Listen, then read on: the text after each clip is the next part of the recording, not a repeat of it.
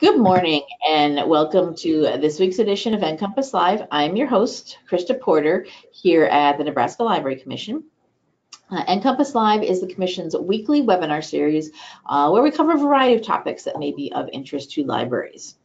Um, we broadcast the show live every Wednesday morning at 10 a.m. Central Time, but if you're unable to join us on Wednesdays, that's fine. We do record the show every week, as we are doing right now, and then it is posted onto our website in our archives for you um, people to watch at their convenience. Uh, both the live show and the archive recordings are free and open to anyone to watch, so please do share with your friends, family, neighbors, colleagues, anyone you think might be interested in any of the topics of our shows. Um, the Nebraska Library Commission is the state agency for libraries in Nebraska and it's for all types of libraries. So we have um, things that run the gamut on our show. We um, we have things for publics, K-12, um, academics and uni universities and colleges, uh, corrections facilities, uh, museums, archives. Um, basically, our only criteria is that it's something to do with libraries. Um, at all types of libraries. So something libraries are doing, something we think they could be doing, um, interesting or new resources or services that are out there. So um, we have a whole um, bunch of different things here. Sometimes we do book reviews or little demos and mini training sessions of things, interviews with people, um, all sorts of things on the show. Um, we do have Nebraska Library Commission staff sometimes do sessions um, on the show for things that we are offering here via the Nebraska Library Commission, but we also bring in guest speakers, and that's what we have today. Um, on the line with us is um, and they're they're also here. We're the Library Commission is based here in Lincoln, and they're all in. You're all in Lincoln as well, correct? But oh, I'm correct. in other offices, so we're all coming in here remotely on cameras from different places in in the city. um, we have um, Holly Hatton Bowers is on there. Hi, Holly. Hi.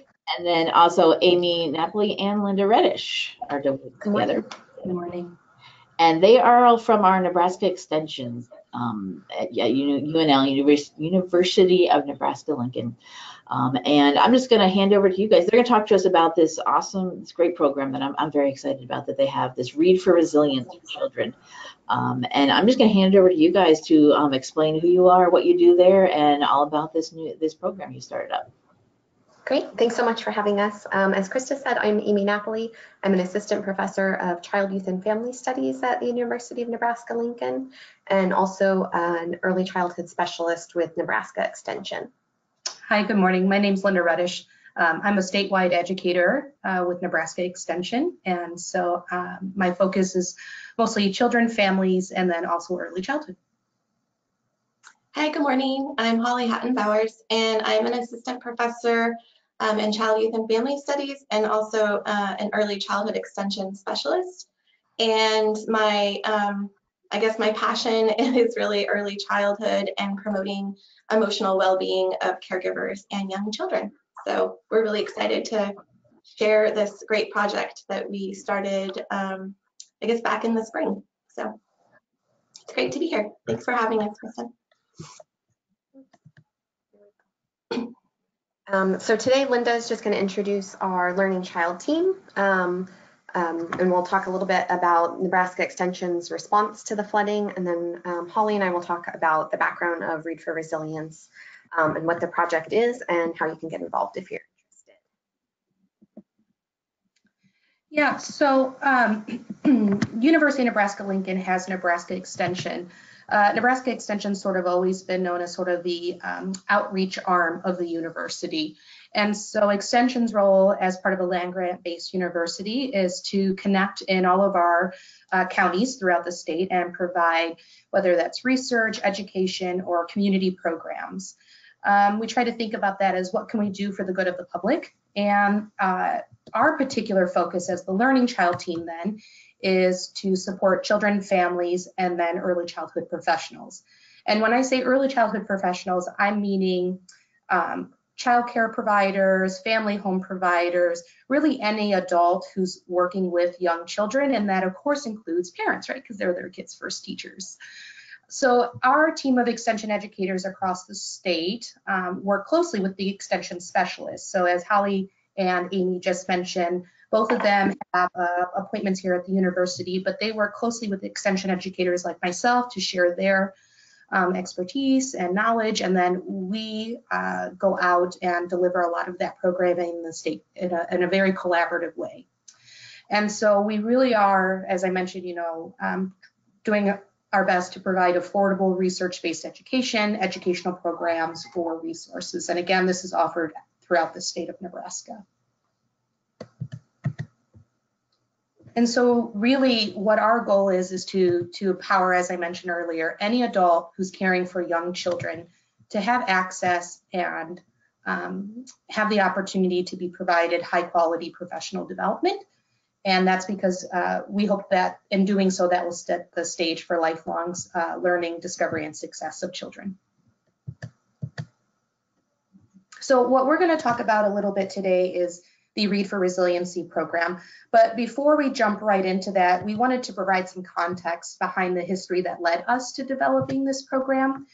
So as we mentioned, our goal is really to support communities uh, throughout Nebraska. And uh, earlier this spring, Nebraska was impacted uh, by several natural disasters, including the bomb cyclone and flooding.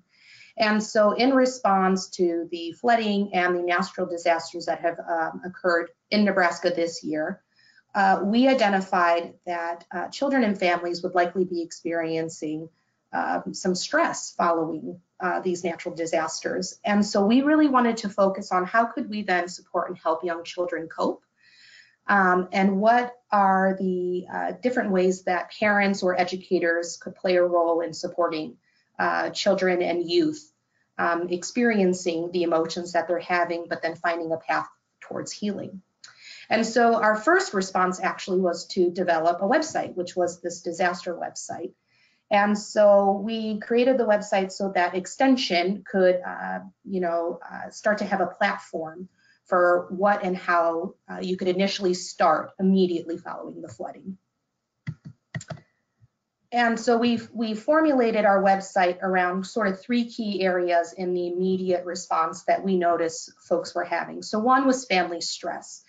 Um, and so we know that everyone um, experience stress at some point in your life, but ongoing chronic stress and then stress related particularly um, to natural disasters uh, can compromise your health and well-being. And so this subpage has uh, several resources um, that we have, including a list of common signs of chronic stress and uh, individuals then can look at that and say, oh, um, I'm noticing someone that I know is experiencing these symptoms and signs of chronic stress. And then we have list of resources and hotlines that, that you can refer someone to. The resources are both national and Nebraska specific, so we would encourage you to check those out. Again, the goal in making this site was to identify resources that immediately could get into the hands of those caring for young children. Then the next part, as we mentioned, our team also supports early childhood professionals. So early childhood professionals have a really unique role in planning what to do before, during, and after uh, an emergency event or a natural disaster. And so this website has resources specific to emergency preparedness and educators' roles in supporting young children during um, emergencies. So a really interesting kind of note uh, we know that uh, nearly 80% of young children uh, from birth to age five, according to the Buffett Early Childhood Institute, are in some form of paid care today. And so it was really critical then that we identified these resources for childcare programs and after school program kids, knowing that young children are often in these settings for a good chunk of their day.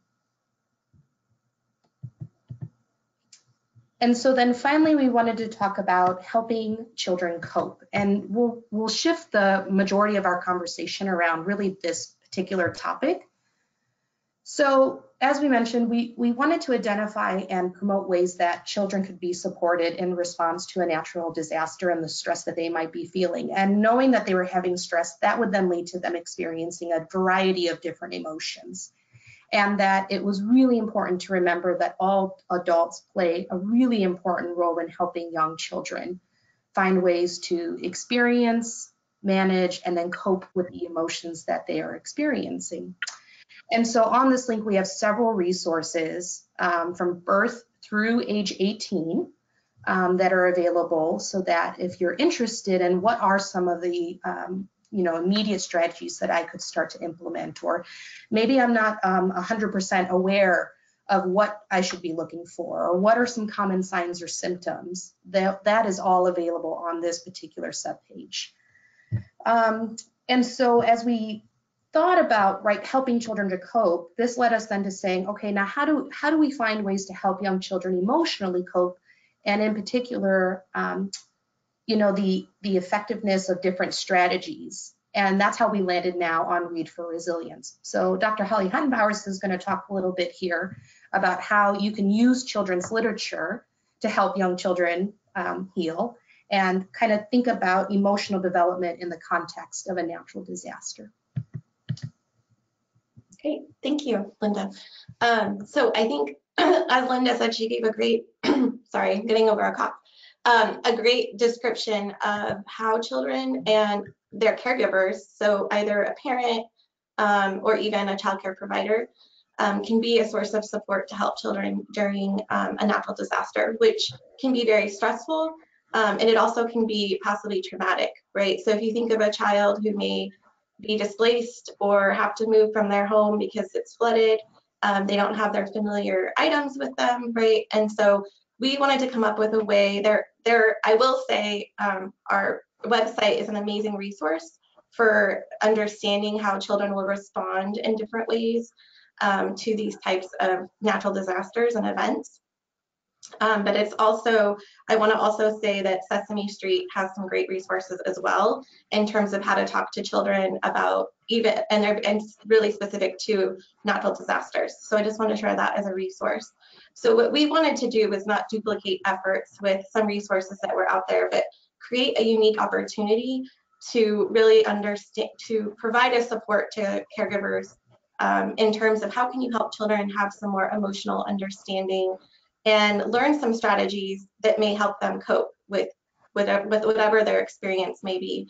And so this slide is purposely put here to show you that a child may experience the same event.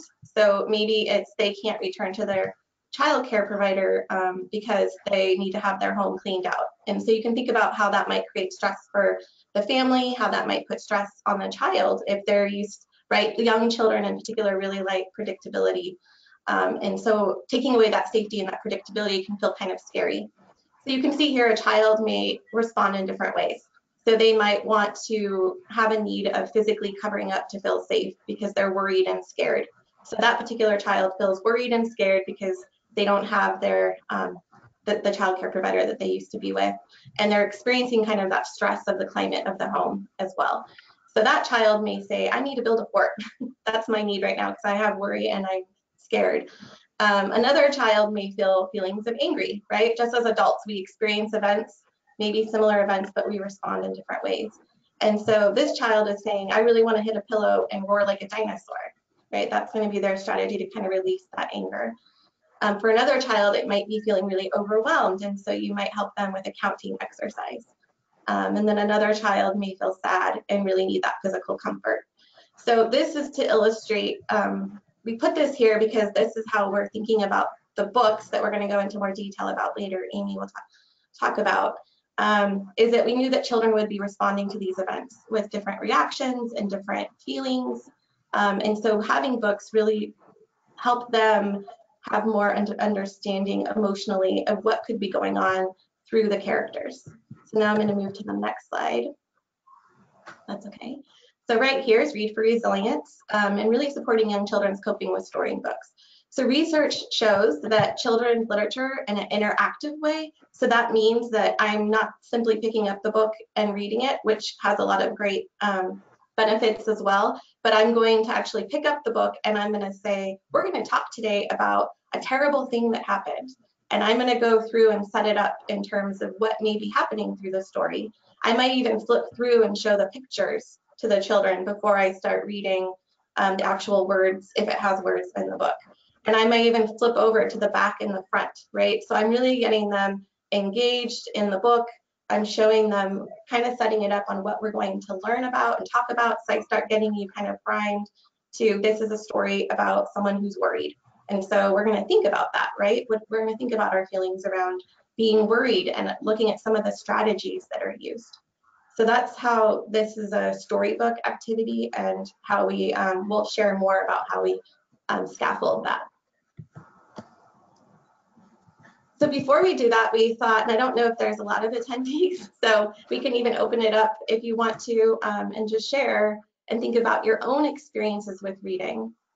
So we have some questions that we came up with. What are some reading experiences you have had that influence how you interact in the world? And you can put that in the chat, or if you want to raise your hand, just hear some responses. Yeah, yeah, just, you should be able to go ahead and just type into the questions section of your interface. Or if you want to use your microphone, if you have one available that's working, um, you can raise your hand and I'll unmute you. So this would be experiences like them personally, not necessarily Yep, with. yep, just your own personal experience. Yep. And another question is, what are ways that reading stories has impacted your learning and the way you understand feelings? And how did early storybook reading impact your desire to read books today? And do you have any favorites growing up as a child? So really, we just want to think about your own personal experience with how you use books to how it may have influenced your understanding of feelings and in coping.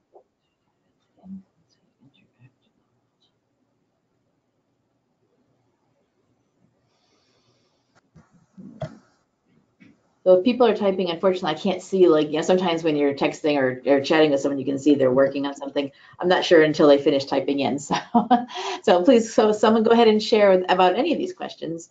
Um, I can say, I, I don't, for myself, I don't know. I was trying to think about the first two questions there. Um, reading that have influenced how I interact in the world. I don't know if I remember anything specifically, but maybe subconsciously or th- those kind of situations that were I was put into as a child with like, like we're going to talk about this and this is the book we're going to read and then you don't always necessarily remember that specific event? Because mm-hmm. um, I mean I've been reading since a kid since I was as long as we can as soon as we could walk my dad was taking us to the public library every Saturday. I remember that so we were always attending things there. Um, and it could even be, I, mean, I was just thinking like my Anne of Green Gables was a huge influence. Mm-hmm. My dad bought me the books, and so we read it together because um, he knew I was really fascinated with it. And so asking questions and just thinking about being resilient in different ways and mm-hmm. um, kind of putting yourself out there to develop, you know, like being resilient, what does that mean? And doing things that are really you're passionate about, right? In terms of your professional motivation. So it could be just kind of you think about books might help you with a character that you relate to and might have influenced your thinking. I don't know, Linda and Amy, if you have any. The first thing that I thought about with this was the Velveteen Rabbit and how, like, when I read it, like, just feelings of empathy um, and kind of the emotions that are tied to that book and all of the very strong emotions that I felt as a mm-hmm. child and kind of how I always thought about that in relating to um, other people in the world and even inanimate objects, things like that. Mm-hmm. Yeah, I think some of the way reading stories has impacted my learning and the way that I learn to understand feelings has really been shown now as a parent. And so now when I read books and I read stories, it's impacted the way that I even think about how children process emotions. So, for example, um, when we would read my many colored days and we would talk about how different colors and how I would feel on different days. And, mm-hmm. you know, when I'm pink, I just can't think, you know, it makes me so happy. Um, and so that's shifted then to how I, I think about um, understanding feelings and, and also how kids like a color can spark an emotion for a child or a picture can spark an emotion for a child. Um, and in what ways then do I as an adult take in information and how does that impact how then I understand my own feelings. Mm-hmm. And your child's feelings. And my child's feelings. As far as the the the third question though, the the, the um, storybook impacting your desire to read books and any favorites. Um, my most my ones I remember most are ones that when I was older, I guess. I mean, I have lots of ones that stick in my mind are things like um, Watership Down um, and Chronicles of Narnia when I was reading when I was like a teenager or middle school. Um, there was a the the Watership Down is my favorite book, I think, and I always remember the the ending of that, and I think because I hope people all read it, death at the end of it. Um, and it was something that I always go back to when I'm thinking about that. That it that you know how to deal with if someone has passed away. That it's okay. That they're it's not the end of everything. It's still a different kind of you know other things will go on. That's something that I always think about from that book. Thanks for sharing that. I'm gonna add that one to my list. It's for older, not, like, not, you know, it's not a kid's book, but it does have, yeah, I always think about that part of it. Yeah. It makes me cry every time I read it. I reread it all the time, watching the old movie, the new TV show that was on, yeah. But it's a good thing to deal with the feelings about it, yeah. Mhm. Yeah, and that really helps us sort of think about transitioning then a little bit, right? Because we're talking about how do you pause and think about your experience, and then your example talks about how you can use storybook then to cope with your feelings, right? Mhm. So, um, Yeah, if nobody Yeah, so books can be a great way to just have some understanding, especially if you go to the next slide, Amy. I don't see any other comments, but anyway, just some some things to think about, right? Like how we as adults also use books sometimes, um, even in fictional stories, to think about maybe how we're feeling and um, ways that we might also have strategies as well. So that's really what we were doing, um, what we are doing with Read for Resilience. So this is a great article. Um, I could even share the link to it. Um, it just came out, Kozak, and I don't know really, I don't know how to say the last person, but Retipia 2019 um, has a great overview about how, how storybooks can offer experiences for children to learn and think about and reflect on events and their feelings.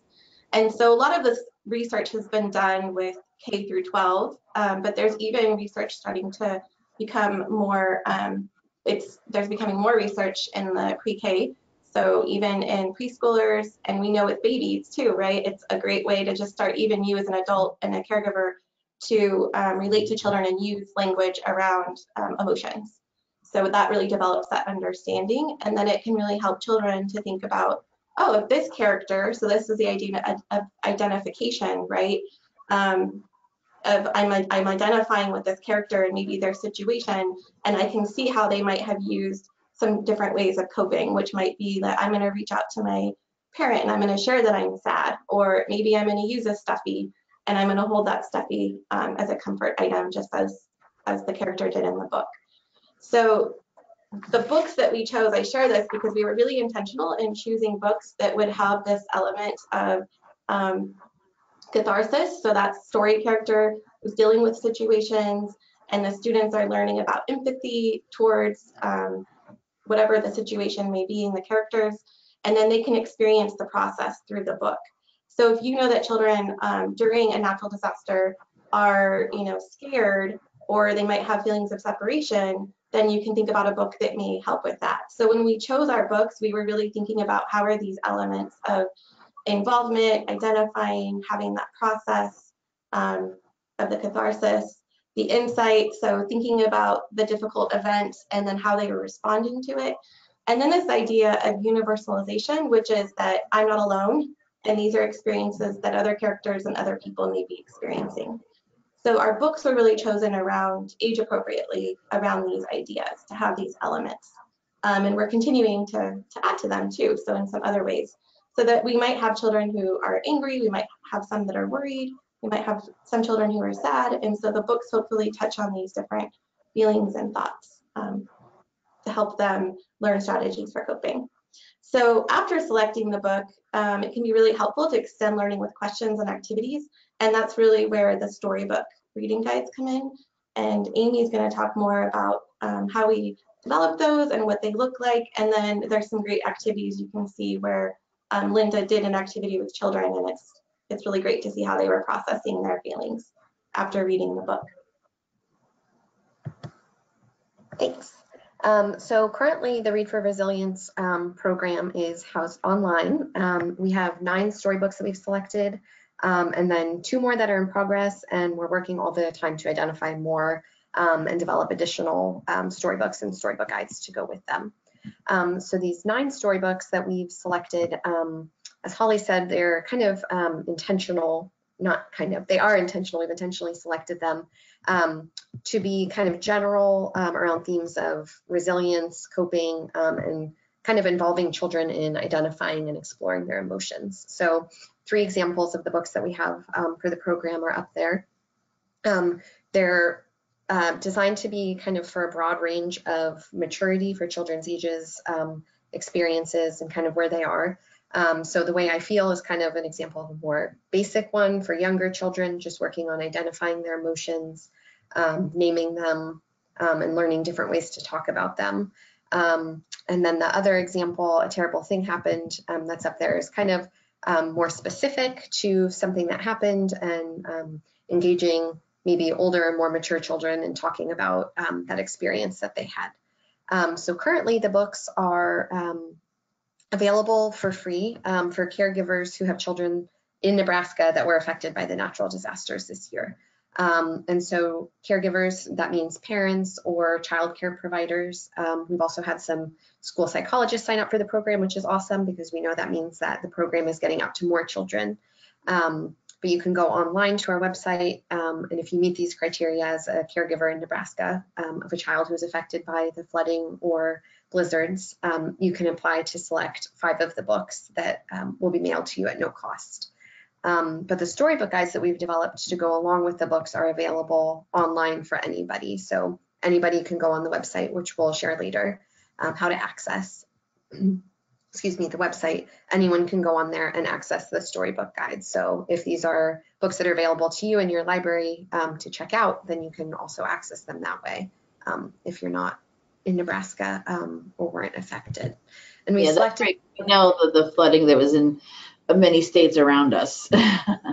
yes. Um, so I'm glad- Um, and we, we've been partnering with um, some folks in South Dakota. Um, we've had interest from Iowa also. Um, so there, there are people in those states um, and other states around us um, that um, that we can give information to you if you're not in Nebraska about accessing the resources um, at no cost. Um, but like I said, libraries are always a great place to go see if your librarian has these books, and then you can use the storybook guides to go along with them. So this is an example of one of the storybook guides. Um, we have one um, available for all nine of the books that we have, and um, as Holly and I mentioned, we're working um, to develop more of them. two are in progress right now.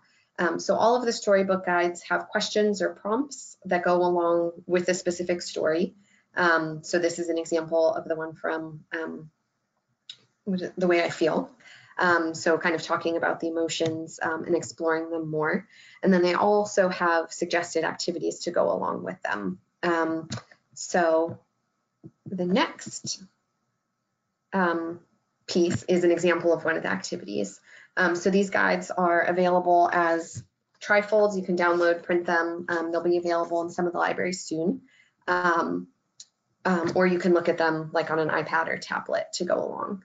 Um, so this particular activity um, in this book, A Terrible Thing Happened, one of the ways that the adult is helping the child Sherman cope with his experience is by drawing his feelings and talking about his anger and fear that he has. Um, so, as Holly mentioned, Linda um, brought this activity to some uh, children in her area. And this is an example of one of the illustrations, one of the pictures that a child drew. Um, and the child said, These are all of my feelings. I filled the whole paper with my feelings. The next one, um, I love this example because the child um, provides a specific strategy that they use. So this is a picture of me looking at elephants at the zoo. They're big and sometimes they're scary. And I hold my mom's hand and then I feel better. So this is a great opportunity um, to elaborate with children on different coping mechanisms, different strategies that they can use. Um, and the same with the next one, um, which I love because it's kind of a silly example. You never know what you get when you're working with children. Um, so this is me feeling sad um, because the bananas are were laughing at me and I feel sad when bananas laugh at me and it makes me feel like throwing things.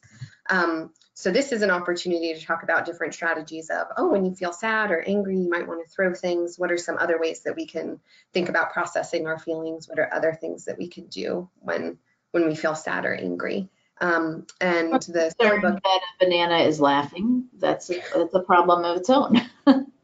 yes, yes. I wish I was there. Working with children is the best because, like I said, you never know what is going to come up or what you get. Um, but even these kind of um, strange or silly situations that pop up are good opportunities to talk about strategies um, and ways to promote resilience. Um, and all of the storybook guides have different activities. Some of them are mindfulness activities um, to practice breathing exercises um, as a way of coping. Um, one of the ones Holly pointed out earlier was about counting, um, and you could count your breaths, things like that. So different different strategies um, are available in the um, the storybook guides um, to kind of go with the different things that children feel and the different ways that they have of coping. So the next step for the Read for Resilience project is bringing this program to the library. So we have these books that are available that caregivers can apply for, um, but we're also expanding to make it something that um, caregivers can attend with their children, and we could kind of talk more about these ideas. Um, so we're partnering currently with local libraries, um, and we're working all the time to get this brought throughout the state, um, so it can these programs can be available to the children who are really impacted by the flooding. So the design of the program is that caregivers bring their children in. Um, caregivers observe a read aloud with the children, um, kind of learn some strategies um, for reading, asking questions, engaging children, um, and then also a piece about learning about social emotional development. So children, um, we know, experience all of the things that adults experience, but they might not have the strategies or the tools to talk about their feelings the same way that we do.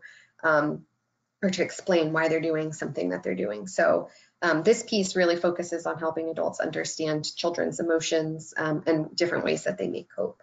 Um, after observing the storybook reading, um, caregivers go learn about that piece and then children participate in activities to promote their resilience um, or talk about feelings, things like that. So one example is making worry stones with children, kind of talking about how that can be a good strategy um, for working through their emotions. And um, that picture um, you can see is one of the displays that will be going up in at the local libraries. Um, we're working to partner with librarians throughout the state so that this is something that can be available in all of the libraries. Um, so the books that we've identified um, will be available to check out in our local Lincoln libraries. Um, and if there are librarians listening, please reach out can... Yeah, I was gonna say, um, if it had been, I'd seen that um, just recently, they probably saw we were doing the show that um, Lincoln City Libraries had shared um, about the program. Mm-hmm. So they have this yes. in their in some of their um, locations already. So November second, we'll be piloting our first program um, with with the libraries in Lincoln. Um, and then around that time, also these displays will be available in the the nine, nine libraries throughout our area. Um, so they will have um, each of the books available to check out, information on how um, caregivers can also access them um, if they want to receive copies of the library of the books, and then the storybook guides will be printed and available um, when the books are checked out. Um, but as I mentioned, they're they're always available online as well, so anyone can access those too. Amy, can I uh, just add something? So please. I think the event is really great because it's an opportunity for um, it could be mainly it could be parents or whoever the primary caregiver is. So grandparents, whoever wants to come with their child. And so it'll be an education around just what does socio-emotional development look like with young children? Um, what are some things that might be helpful in terms of strategies? So they're also going to get that information along with seeing how to um, do storybook reading and why that can be helpful for children as well. Um, and then as Amy said, you'll get an, um, an activity. So I think it's just, it's a great opportunity to come and learn some information, but also interact and with other caregivers who would be there as well. And I think teachers are welcome to come as well. So if they want to come and observe the process, we welcome them to attend the event. And these will be available at no cost also, um, which mm -hmm. is mm-hmm. great. So if anybody has questions, oops. Um, we'd be happy to take them now, and then we also will share um, information on how to get in touch with us, how to access our website um, for more information on Read for Resilience or um, more resources um, that Linda talked about for helping with general coping. All right, anybody have any questions um, about what Amy and Holly and Linda have shared today? Um, Any questions you have about the program? Any uh, thoughts about having it in your libraries? I know we have people from a bunch of different libraries here um, on, on the show this morning. Um, Everyone from Nebraska, just so you guys know. Um, It's all, um, at at the moment, all Nebraska people. Um, I do know that we do get a lot of people from everywhere watch our recordings afterwards. So it's good to have that information in here in the recording um, for later in the archive for anyone who comes across it from um, outside of the state. So they'll have all that info. Anybody have any- reiterate, as Linda mentioned earlier, that we have um, learning child edu- educators throughout the state. Um, so if you're already partnering with some educators in your area, then you can reach out to them um, and they can provide information on um, how to access the program or how to get the program in your area. Um, but that is how we're, although Holly and I are housed in in Lincoln and Linda's closer to Omaha, um, we do have resources available to, to get this program throughout the state. Um, so so throughout, throughout the that. Nebraska extension is all across the state. Yeah. Yep. Now, is there, um, this is a question, is, is, um, other states have similar thing, their own extension offices because you said you'd been in talking with other people in like South Dakota and Iowa. Is it the same, um, group extension or is it other types of organizations or? Um, both. So extension is something that's um, provided from land grant universities. There's one in every state. Um, so for South Dakota, we're partnering um, with Extension in South Dakota. Um, Iowa, it's the the program um, that's shown interest and we're partnering with is not directly related through Extension, um, but connects and does a lot of work with Extension. Um, so we're everywhere. Um, and we are working on getting this this program out. Um, so children who were impacted um, not only by flooding. Um, I mean, it started as as a program specifically for natural disaster, but the books are broad enough um, that children who've been through any stressful event um, can benefit from them. Yeah, so for example, um, my uh, county and home library where I go to is in Bellevue, right? So we, Bellevue um, is a pretty traditional military town. So our books are also a way too, so that if parents um, are deploying or they're on separation for a few weeks, you know, doing um, training or things like that, these books would certainly be appropriate um, for helping young children to sort of uh, cope with some of the feelings when it comes to separation from, you know, their primary caregiver. So those Absolutely. story guides would be super appropriate. And as we mentioned, you know, we're still identifying other books because what really started um, was in a in a real genuine response to what we were seeing in our communities. We're now um, hearing, well, this has been really helpful. Do you also have a resource for this one? Do you also have a resource for this? Yeah, Um, so, so we're, we're continuing to think about then um, broadly, as Holly mentioned, how can we promote resiliency with young children using effective literature? yeah. Um, and that's a good, um, tip. I was just thinking about that. You mentioned, you know, being by the military, um, by the bases. That's maybe something for other people in other states to, um, reach out to. Is there someone in, if you are near a military base of some sort, reach out to them and see if they do have this kind of a need with the families, um, and connect with them as a partnership that can then use these, the Read for Resilience, um, guides and books and everything to, to help those kids. They may not even know if that's something that they should be dealing with, have to deal with, have an issue, you know, have a problem with that. That, you know, we know from the libraries because of this that we can now reach out to them as, as a uh, place that might need need our help. Yeah. Yep, and extension educators are well connected. So if you're not sure where to start, you can reach out to our team and we'll put you in contact with someone in your area um, or someone close to your area who can help. Mhm. I think this is good timing too. I mean, we had the flooding, you know, throughout the Midwest and, and the country earlier this year, but um, myself being well in Nebraska, of course, but also being from um, originally from upstate New York, uh, winter is coming, winter weather, and that can be devastating. Storms and things are just getting worse um, due to climate change. So uh, the the nor'easters that would come up the coast and just knock out our power and bury us in like two to three feet of snow for three days. Um, and I remember living through that as a child. And it's it's you know to a child you think it's oh it's fun because you know we're gonna go out and play in the snow all day, but it's also stressful because there's the power's out, there's no heat, there's no light. Why is mom and dad worried about things? You know, why are they not going to work, or are they going to work out in this feet and feet of snow? So that season coming up, I think this would be something very useful in those um, areas as well. Mhm. Something else you just made me think of, I think that these storybook reading guides, the Read for Resilience project can be helpful for, is it also can help you as the caregiver be thinking about your own emotions, you know, and feelings and thoughts. So even though they're children's books, they're great ways, like I think Linda, you brought up the the one of color, right? So what there's another one that we have, which is what color do you feel today? Right. And so it's like I might feel blue, I might feel pink, I might feel all gray, blue, and pink. So it's kind of a way to have common language and also also for you to think about and process your own feelings with while you're reading the, the book with children too. So it's really Yeah. a parallel process that way.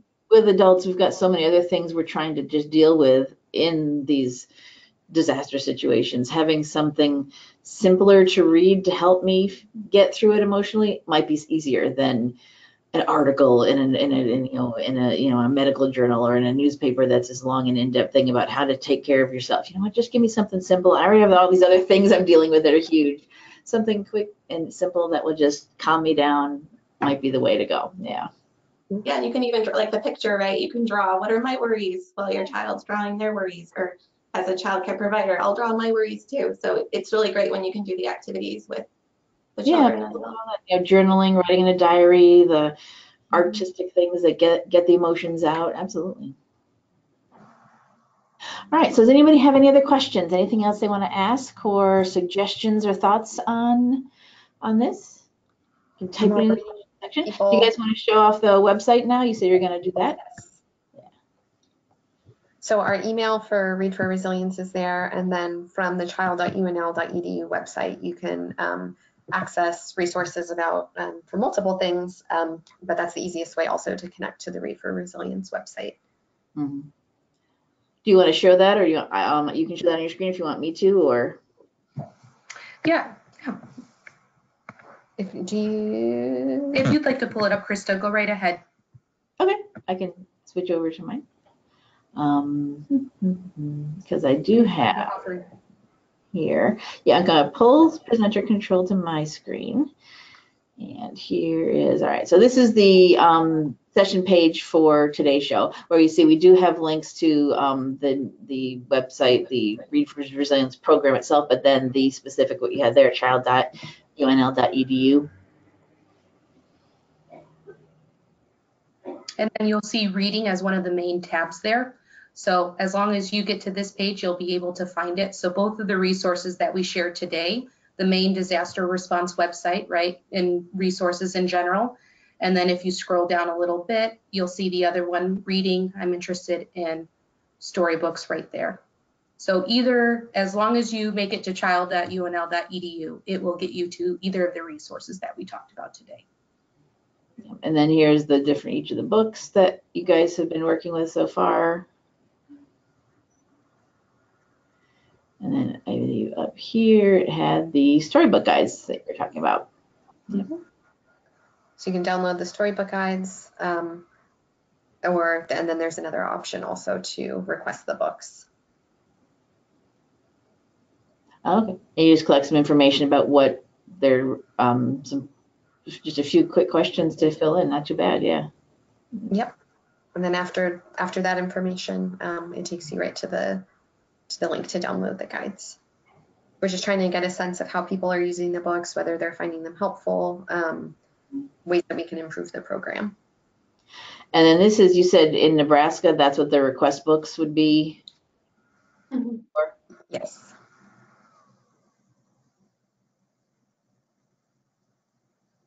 Okay. So there's a question um, asking about if you were affected by the natural disasters, what county in Nebraska you live in, things like that.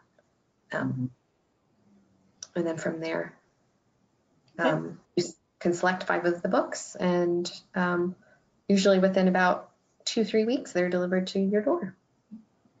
Do you get, well, I, I don't remember, did you get multiple copies or just one of each?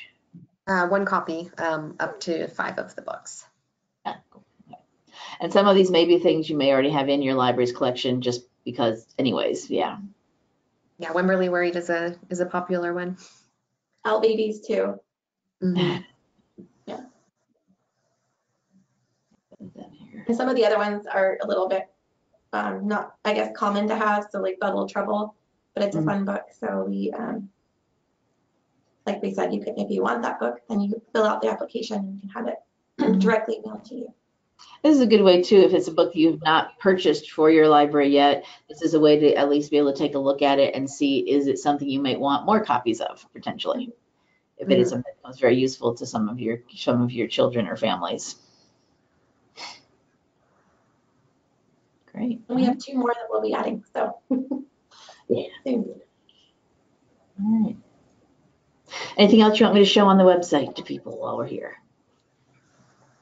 Think that's our main main focus is that read for resilience, and then the the uh, disaster response page also is the one that Linda. That is what you're talking about at the beginning. Yeah, I saw that here, the um, helping children cope, the family stress section. Yep. The other emergency preparedness. Yep, that's where all this is.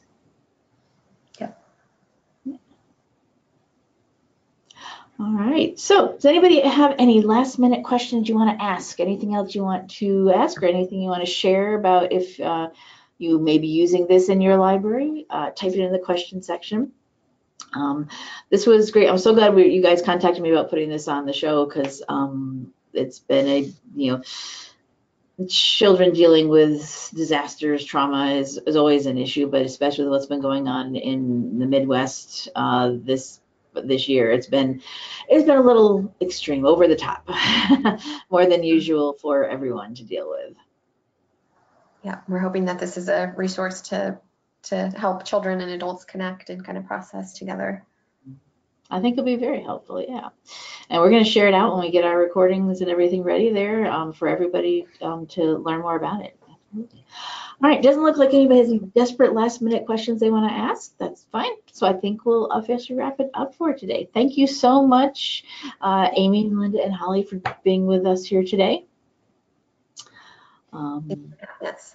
we we um, are recording the show, so that will wrap it up for today. And I'm going to get back to our site. There we go. Um, so we are recording, and the recording will be available on our main NCompass Live page here. Um, so far in the world, you can Google NCompass Live, the name of the show, and nothing else is called that yet on the internet. Nobody else is allowed to use this name. um, if you bring it, yeah, search for it, you'll find our website um, and our archives. Uh, this is our upcoming shows, but right uh, underneath all of our list of upcoming shows is the link to our archives. Uh, these are in um, the most recent one is the top of the list, so this is the one from last week. The recording will be, as I said earlier, um, it will be posted to the Library Commission's YouTube channel, and then I think you guys were going to send me your slides too to add.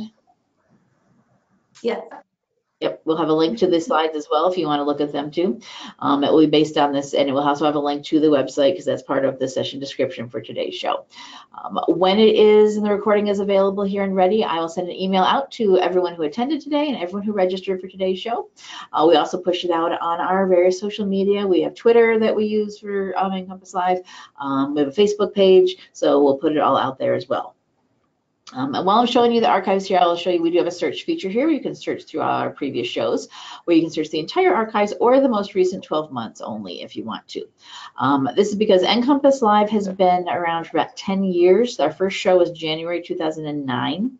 So we have a, and we have the full history of the show here. This is a, a, very, very long page, um, going back to the very beginning. So um, we did put in a search feature so you can narrow down, search for a specific topic or also just search for something recent if you want really up-to-date information. Um, because this does have our full archive in here, you will find old shows that maybe are um, outdated, the product or service doesn't exist anymore or has changed since we talked about it. Um, links might be broken or you have to find a new one.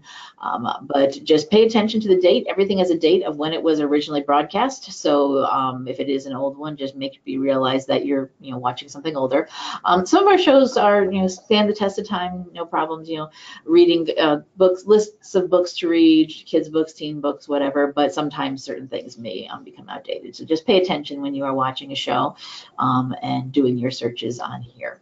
Um, we are librarians, we are a library, so we do archive and historical things. We'll always keep adding to this as long as we've got somewhere to, to host all of this. Um, so as I said, we do have a Facebook page. I've got that open up over here. So if you are a big Facebook user, you can like us on Facebook. We post reminders about shows um, and announcements of things going on with um, NCompass Live. Here's your reminder to log into today's show.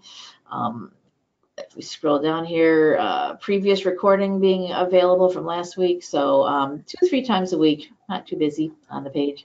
So if you do um, like to use Facebook, uh, give us a like over there. Um, or follow our hashtag on Twitter, it's NCompLive, a little abbreviation there. Um, so that will wrap it up for today's show. Thank you everyone for attending. Thank you guys for being here with me this morning. And I hope you join us next week when our topic is Pretty Sweet Tech, the power of the internet. Uh, Pretty Sweet Tech is our monthly show being done by Amanda Sweet, our technology innovation librarian here at the Nebraska Library Commission. Um, we started this up a few months ago, so um, now she's on to a regular schedule where the last Wednesday of every month will be her Pretty Sweet Tech show on different topics each time. And this one next week is the power of the internet, use it wisely. So you can learn all about um, how you can um, be a, a, good user of the internet. So please do uh, sign up and join us for that show or any of our other upcoming shows coming up. We have the um, all the rest of the year is booked. I'm still waiting on a couple of descriptions for the sessions in December, but the dates are filled in. Um, so keep an eye on that to see what we actually have coming up as our specific shows. So thank you everybody for being here. I hope we'll see you on an, a future episode of NCompass Live. Bye-bye. Thank you.